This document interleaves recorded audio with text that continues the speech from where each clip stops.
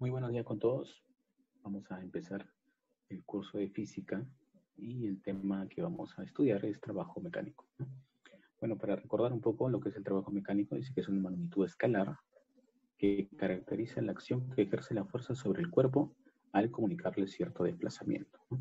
Entonces, lo que me indica aquí esta definición es que eh, cuando existe la fuerza, ¿no? una fuerza que sea aplicada a un cuerpo, siempre va a generar un desplazamiento. Ahora, ese, ese desplazamiento eh, que, va, que va a ocasionar va a generar un trabajo. Ahora, no siempre va a haber trabajo dependiendo de la fuerza, cómo está siendo aplicada. Nosotros tenemos que estudiar ahora en dónde va a ser aplicada la fuerza, ¿no? Si es una fuerza paralela al desplazamiento, si es una fuerza vertical de desplazamiento, si es una fuerza que se opone de repente al movimiento, entonces van a haber unos casos que tenemos que estudiar. Dependiendo de esos casos, podemos saber si ese trabajo eh, que se genera va a existir o no va a existir, o si va a ser negativo o si va a ser positivo, ¿no? Pero la fórmula general del trabajo va a ser la siguiente, que tenemos aquí este recuadro que a la derecha. El trabajo que realiza una fuerza F, ¿no? Cuando se le comunica cierto desplazamiento de, va a ser igual a la fuerza por la distancia multiplicado por el coseno del ángulo teta. ¿Quién es teta? Mira, si te ves cuenta aquí en la figura aparece un hombre que está jalando un bloque con una cuerda, ¿no? Atado una cuerda del bloque con una fuerza F, pero esa fuerza está en diagonal. O sea, en otras palabras, genera un ángulo de inclinación con la horizontal. Y el ángulo de inclinación es teta. Entonces, ahí aparece el ángulo teta, ¿no? Entonces, el trabajo de esta fuerza F, con la que que está jalando el bloque, esta persona va a hacer fuerza por distancia, que en este caso el desplazamiento, perdón, del punto hacia hasta donde lo quiera desplazar, ¿no? El bloque, ¿no? Hasta el punto que lo llegue a desplazar, ¿no? Multiplicado por el coseno de ese ángulo que se formó, que forma la fuerza con la horizontal, ¿no? ¿Correcto? Entonces, eso es lo que me indica. Ahora, la fuerza aplicada sobre el bloque siempre se mide en newton, el desplazamiento del bloque es en metros, el ángulo formado, o sea, es en grados hexagonales, el trabajo de la fuerza eh, desarrollado por una fuerza F cuando se genera un desplazamiento, la unidad es en el sistema internacional el joule, no sea, el trabajo, que es W, con eso denotamos el trabajo, se mide en joule, ¿ya? Y el joule se coloca como una J mayúscula, ¿no? Esa va a ser la unidad que vamos a trabajar en el trabajo, ¿no? Casos prácticos, caso 1, tenemos cuando el ángulo θ es, igual a 0 grados, ¿no? O sea, este ángulo de, inclinación no existe, ¿no? O sea, es 0 grados, ¿no? Simplemente imaginemos que esa fuerza vendría así, ¿no? En lugar de venir viene por acá, ¿no? Así, paralela, ¿no? En ese sentido, ¿ya? Entonces no tiene ángulo. Por lo tanto, el coseno de teta sería 1, claro, porque el coseno de 0 grados por trigonometría vale 1, ¿no? Y si vale 1, miren esta fórmula, si el coseno de teta vale 1, entonces esto simplemente ya no, no va a afectar en nada, ¿no? simplemente la ecuación quedaría que el trabajo es igual a la fuerza por distancia, ¿no? Y es lo que ocurre en este caso 1, ¿no? El trabajo va a ser fuerza por distancia y va a ser un trabajo positivo. ¿Por qué? Porque la fuerza está a favor del movimiento, ¿ya? El cuerpo va a la derecha y la fuerza también va hacia la derecha. Caso 2, ¿no? El caso 2 es cuando teta es 180 grados, el ángulo de inclinación es 180 grados, que quiere decir que la fuerza, mira, inicialmente esta fuerza está a favor del movimiento, pero empieza de aquí, ¿no? Vamos a dibujarlo una flechita por acá. Empieza por acá, ¿no? Pero ¿qué pasa? Esta fuerza ha girado 180 grados. Está apuntando ahora en qué sentido? En sentido contrario, ¿no? Ha girado 180 grados. Entonces, si gira 180 grados, entonces, ¿qué ocurre? Mira, ocurre que la fuerza está en contra del movimiento. Por lo tanto, en este caso, cuando veas una fuerza que está en contra del movimiento, o que se opone al movimiento, el coseno de teta va a ser menos 1. Por lo tanto, el trabajo de esa fuerza va a ser negativo, ¿no? Porque sería fuerza por distancia por, menos 1, o sea, menos FD, ¿no? Menos fuerza por distancia. Y el caso 3 es cuando tenemos una fuerza que, que es perpendicular al movimiento o al desplazamiento del cuerpo. Y eso ocurre cuando teta vale 90 grados, ¿ya? ¿Por qué? Porque si, date cuenta, mira, la fuerza es perpendicular y está formando un grado un cuadradito y ese cuadradito vale 90 grados. Entonces teta vale 90. Y el coseno de 90, ¿cuánto vale? 0. Por trigonometría vale 0. Entonces, si tú vas a la ecuación, ¿no? Fuerza por distancia por 0, que es coseno de 90, todo vale 0. El trabajo entonces sería 0. ¿Qué concluimos? Que todas fuerzas perpendiculares, que sean perpendiculares, todas las fuerzas que sean perpendiculares al desplazamiento del cuerpo, no generan trabajo, ¿no? O sea, 0, pues, un trabajo es 0, ¿ya? Pasamos a las gráficas. Cuando vemos un problema con gráficas, tenemos que hallar el área. El área de la curva siempre me va a determinar el trabajo de la fuerza. En este caso son para cuando aplicamos en fuerzas variables, ¿no? Fuerzas variables, este se aplica siempre eh, problemas con áreas, ¿no? Entonces el área bajo la curva me va a determinar el trabajo de la fuerza, De una fuerza variable en este caso. Tenemos por acá el trabajo neto o total, ¿no? Hay dos maneras de llamarlo ahí, ¿no? Trabajo neto o total. A ver, ¿cómo se calcula el trabajo neto o total? Mira, imaginemos acá tenemos un cuerpo que está siendo accionado por tres fuerzas, F1, F2 y F3. Entonces el trabajo neto va a ser la suma de los tres trabajos, porque hay tres fuerzas, el trabajo de la fuerza 1 más el trabajo de la fuerza 2 más el trabajo de la fuerza 3. O también se puede colocar como el trabajo de la fuerza resultante. ¿Quién sería la fuerza resultante? Obviamente, acuérdate que ya hemos visto en dinámica como hay la fuerza resultante. Entonces tenemos tres fuerzas. La fuerza resultante sería las fuerzas que están a favor del movimiento menos las fuerzas que están en contra del movimiento, ¿no? De esa manera se calcula la fuerza resultante. Y el trabajo de la fuerza resultante sería simplemente fuerza resultante por distancia, hay dos maneras de calcular. Puede ser de esta manera, por separado, o puede ser en conjunto, ¿no? Primero llamamos la fuerza resultante y luego reemplazamos en la ecuación. Pasamos acá al trabajo realizado por la fuerza de gravedad, que también es conocido como el peso. Dice que el peso realiza un trabajo que posee las siguientes características, dice, ¿no? Tenemos acá. Este es un bloque que está moviéndose desde el punto A hasta el punto B. Por esta curva, ¿no? Ha descendido por esa curva. El peso, que es masa por gravedad, siempre va direccionado hacia abajo, perpendicular. Entonces, ¿cómo calculo yo el trabajo del peso? El, peso, el trabajo del peso, que es masa por gravedad, va a ser más menos masa por gravedad por la diferencia de las alturas. En este caso, el punto A hacia el punto B, ¿no? Tengo que restar la altura final menos la altura inicial, ¿no? Pero en valor absoluto. Entonces la diferencia de las alturas, que es delta de h, me va a representar, entonces eh, lo multiplico por la masa y la gravedad y me daría el trabajo de la fuerza de gravedad. Se coloca con signo más si el cuerpo desciende o baja, ¿no? Y se pone con signo menos o será negativo el trabajo de la fuerza de gravedad cuando el cuerpo sube. ¿Por qué? Porque recuerda que la fuerza de gravedad siempre apunta hacia abajo. Si el cuerpo está subiendo, estaría yendo en sentido contrario. Pero en cambio, si el cuerpo desciende, está a favor del el peso, que es la fuerza, entonces sería un trabajo positivo. Bueno, pasamos a los ejercicios, chicos. Problema número uno me dice lo siguiente. Un bloque de 6 kilogramos se desplaza sobre una pista horizontal. Calcule el trabajo total, me dice. Tenemos entonces acá un bloque que es sometido por dos fuerzas, F1 y F2, 10 newton y 30 newton. Rápidamente te das cuenta que F1 está a favor del movimiento y 30 está en contra del movimiento por estas líneas que están acá, ¿no? El desplazamiento es 6 metros, ¿ya? Entonces, el trabajo neto, acuérdate que lo puedes calcular como el trabajo de la fuerza U, 2, 30 newton, más el trabajo de la fuerza 10, ¿no? 10 newton, o sea, por separado, Y lo sumamos y tenemos el trabajo neto.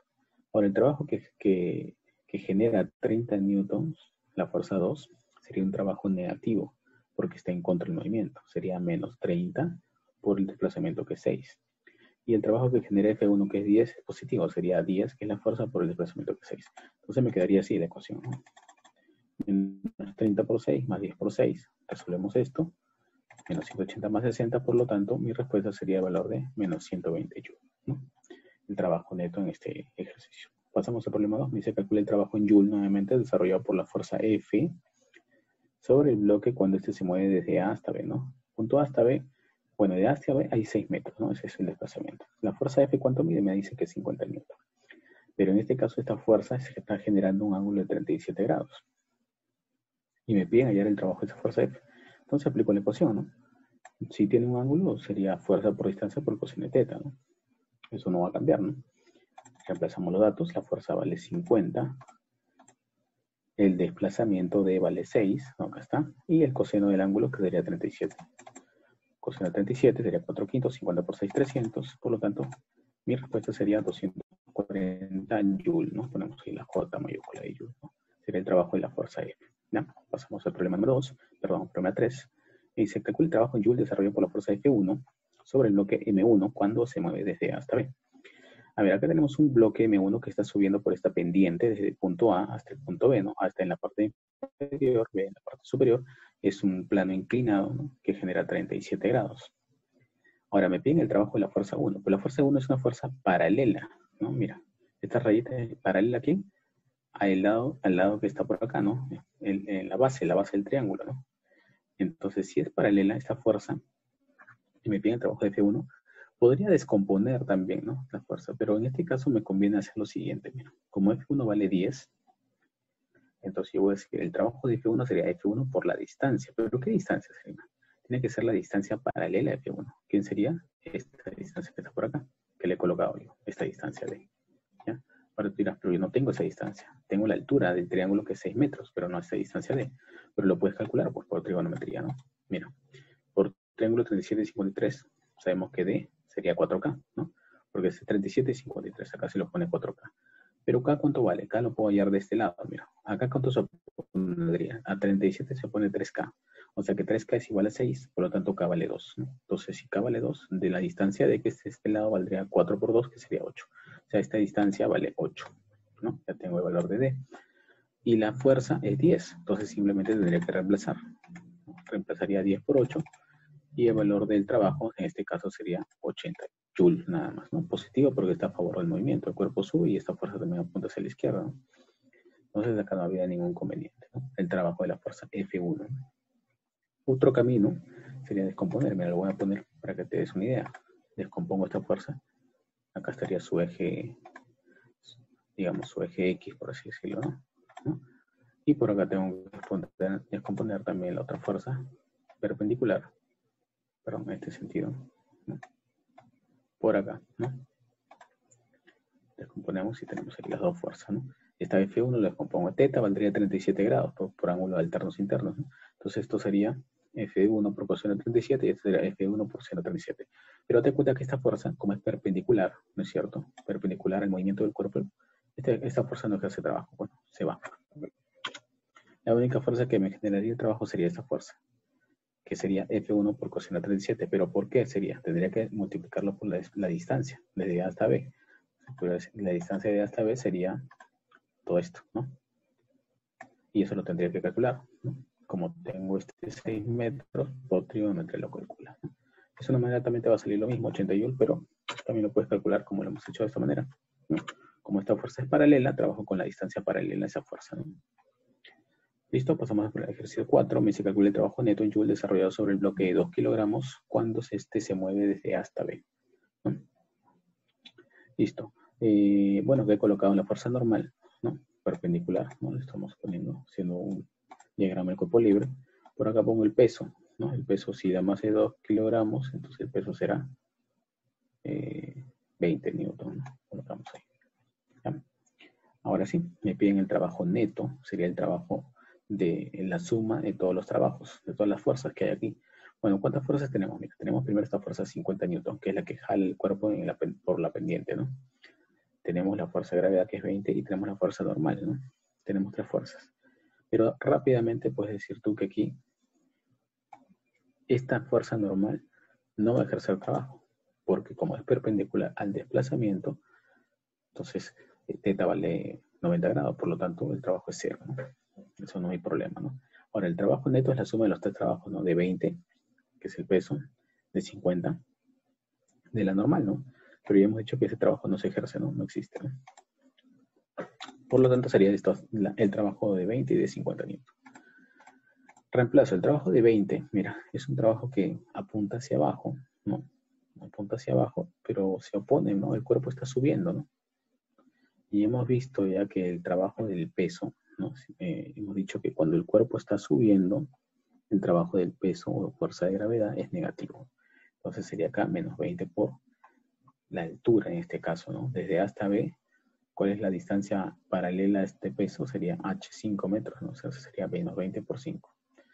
Más, en este caso sería 50 newton, esta fuerza faltaría de su trabajo, pero sería por la distancia, desde A hasta B, esta, esta distancia que está acá, que le he calculado, que es 10 metros. ¿no? ¿Cómo se calcula? Si tengo el ángulo 30 grados y si lo pone 5 metros, entonces la hipotenusa sería el doble de eso, ¿no? Sería 10 metros, ¿no? Entonces sería 50 por 10, ¿no? Resolvemos y obtenemos el valor del trabajo neto. En este caso sería el valor de 400 ¿no?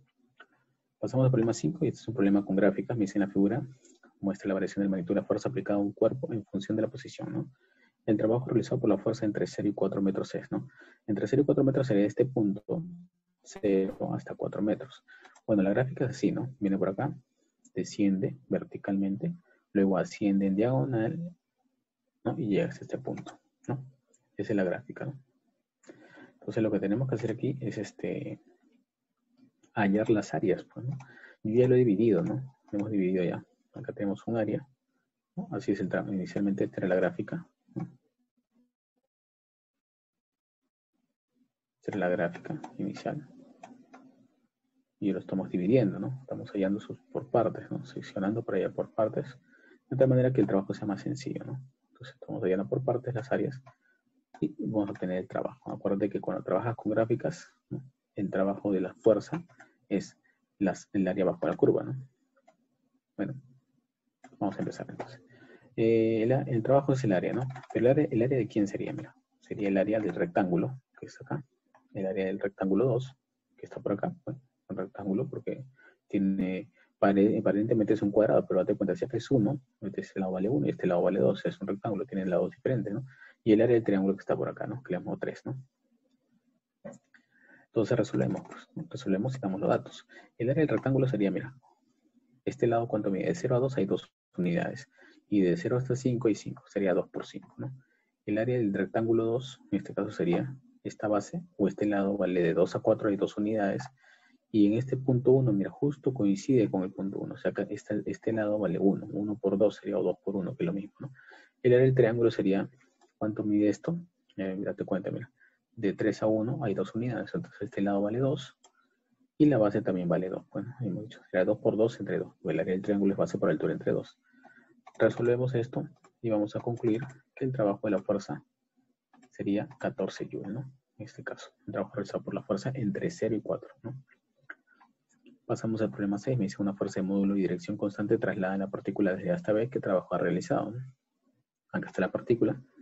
Y va desde A hasta el punto B siguiendo esta trayectoria curvilínea. ¿no? Pero la fuerza es constante y traslada la partícula de A hasta B. Pero mira la fuerza hacia dónde está apuntando. Es en forma horizontal.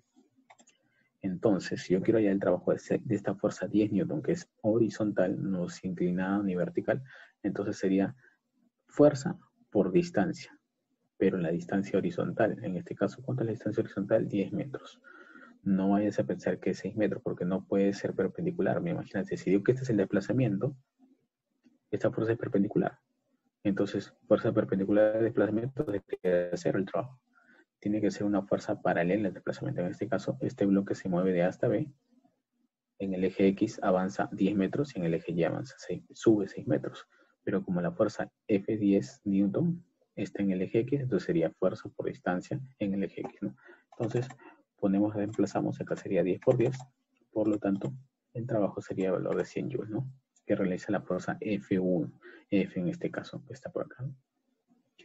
Pasamos al ejercicio 7, me dice, según la mi figura mostrada, calcule el trabajo realizado, ¿no? Por la fuerza F desde A hasta B, si el bloque tiene una masa de 2 kilogramos. Tenemos acá dos fuerzas, F y 20 newton. ¿no? F a favor del movimiento, 20 newton en contra del movimiento, la aceleración es 6 metros por segundo al cuadrado y el desplazamiento de hasta 10 metros. ¿no? Entonces primero aplicamos la fuerza, la segunda ley de Newton, perdón, ¿no? masa por aceleración igual a la fuerza resultante para hallar F, ¿no? Sería acá F menos 20, ¿no? Fuerza a favor menos fuerza en contra, masa de 2 kilogramos y la aceleración 6, ¿no? Entonces de esta manera yo voy a calcular el valor de F, en este caso es 32 newton. Teniendo la fuerza F, ya puedo hallar el trabajo que realiza la fuerza F. Sería fuerza por distancia o desplazamiento, que en este caso es 10 metros. Entonces, simplemente reemplazo sería 32 por 10, la fuerza que hemos calculado por el desplazamiento que es 10, y obtengo como respuesta el valor de 320 joules. Sale un trabajo positivo porque está a favor del movimiento de la fuerza F. ¿no? chicos, entonces, bueno, vamos a quedar hasta aquí. Eh, te dejo la actividad bien para que practique los problemas respecto al tema de hoy que es trabajo mecánico y nos vemos en la próxima clase. Cuídense. Hasta la próxima. Chao.